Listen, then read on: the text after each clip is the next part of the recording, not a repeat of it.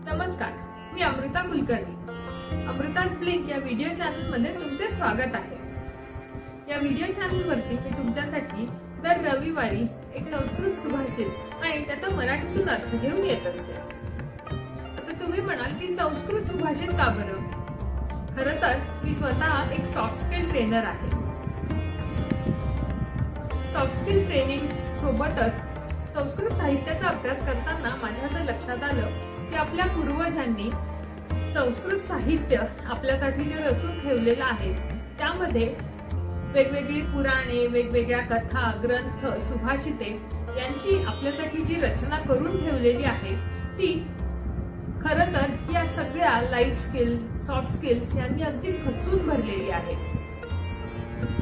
ती छोटी छोटी सुभाषिते किंवा त्या छोट्या छोट्या गोष्टी यांचा जर आपण अभ्यास केला तर यामधून आपल्याला आजच्या जीवनाशी सुसंगत असलेले लाईफ स्किल्स नीतीमूल्य सॉफ्ट स्किल्स अगदी सहज आणि चालता बोलता शिकता येतात तुम्हाला जर संस्कृत साहित्यामध्ये आपल्या पूर्वजांनी लिहून ठेवलेले असे लाईफ स्किल्स जाणून घेण्यात इंटरेस्ट असेल तर अमृताज ब्लिंक हे चॅनल सबस्क्राईब करा आणि तुमच्या मित्रांसोबतही शेअर करा.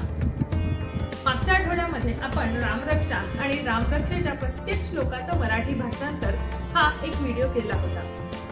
या व्हिडिओला तुम्ही सगळ्यांनी प्रचंड प्रतिसाद दिला. त्याबद्दल तुमचे मनापासून धन्यवाद. आजच्या या व्हिडिओमध्ये आपण रामाचं नाव घेण्याचे महत्त्व अगदी आगळ्या वेगळ्या पद्धतीने जाणून घेणार आहोत. संस्कृत सुभाषिते आणि मराठी अनुवाद या सिरीज मधले तिसावे सुभाषित आज आपण पाहत आहोत. या आधीच्या सुभाषितांची लिंक मी स्क्रीनवर वरती डाव्या कोपऱ्यामध्ये आणि खाली डिस्क्रिप्शन बॉक्समध्ये देत आहे. इन केस तुम्ही आधीची सुभाषिते पाहिली नसतील तर ही लिंक तुम्ही व्हिजिट करू शकता. प्राकार उच्चार मात्रेन मुखान्निर्याटिपातकम पुनः प्रवेश भीत्या एवं मकारस्त कपाटवत. या सुभाषिताचा आपण अर्थ बघूयात. राम या शब्दाचा जो उच्चार आहे या राम या शब्दामध्ये संस्कृत भाषेतली किंवा मराठी भाषेतली दोन व्यंजन वापरलेली आहेत. एक आहे त्याच्यातला र आणि दुसरा आहे म आता ही जी व्यंजने आहेत संस्कृत भाषा ही अत्यंत सायंटिफिक भाषा आहे असं म्हटलं जातं. आता ह्या भाषेला सायंटिफिक भाषा असं का म्हटलं जातं? तर यामध्ये प्रत्येक गोष्ट ही अत्यंत शास्त्रोक्त पद्धतीने वापरली जाते.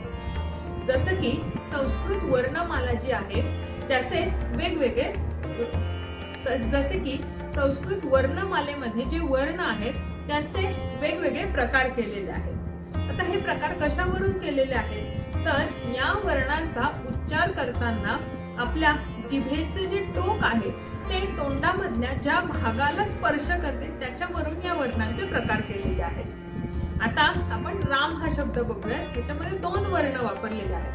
त्यातला एक म्हणजे र आणि दुसरा आहे म.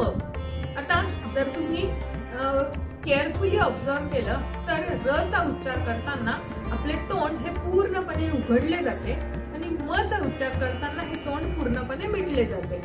आणि हीच गोष्ट या सुभाषितामध्ये हायलाइट केलेली आहे. राम हा उच्चार रकार उच्चार मात्रेन. म्हणजे राम या शब्दामधला र चा जो उच्चार आहे रकार हा जो उच्चार आहे हा उच्चार इतका पवित्र आहे की फक्त उच्चार झाल्यानंतर पाप तोंडातून बाहेर पळून जात. आता बघा रचा उच्चार करताना आपला आपलं तोंड पूर्णपणे उघडलेलं आहे. म्हणजे रचा उच्चार करताना आपलं जे पाप आहे ते पूर्णपणे बाहेर पडलेलं आहे. आणि एखादी गोष्ट जी बाहेर पडते ती तशीच पटकन आतही येऊ शकते. म्हणून राम या शब्दामधला जो दुसरा वर्ण आहे तो आहे म. आणि म चा उच्चार करताना मात्र तोंड लगेच मिटून घेतले जाते. म्हणजे जसं काही एखादी नकोशी गोष्ट बाहेर गेल्यानंतर घरातूनही आपल्या एखादी नकोशी गोष्ट जेव्हा बाहेर पडते तेव्हा आपण पटकन दार लावून घेतो.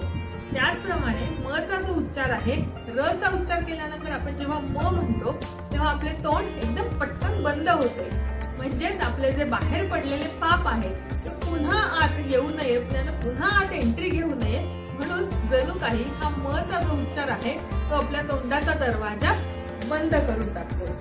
म्हणूनच या सुभाषिताचा अर्थ आहे राम हा उच्चार इतका पवित्र आहे की फक्त राचा उच्चार झाल्यानंतर पाप तोंडातून बाहेर पळून जाते आणि त्याला पुन्हा आत प्रवेश करू नये म्हणून मध असा उच्चार आहे की जणू काही दाराच्या फळा बंद होतात त्याचप्रमाणे तोंड बंद होते. आणि त्यामुळे पाप परत आत येऊ शकत नाही. म्हणजे वर्णमालेच्या दृष्टीने सुद्धा राम हा शब्द किती महत्त्वाचा आणि किती शास्त्रोक्त पद्धतीने डिझाईन केलेला आहे हे या सुभाषितामध्ये सांगितलेले आहे. रामनाम उच्चारण्याचे महत्त्व अगदी आगळ्या वेगळ्या पद्धतीने सांगणारे हे सुभाषित तुम्हाला कसे वाटले तो अभिप्राय मला कमेंट सेक्शनमध्ये जरूर कळवा. व्हिडिओ आवडल्यास व्हिडिओ लाईक करा आणि तुमच्या मित्रांसोबत शेअर करा. थँक्यू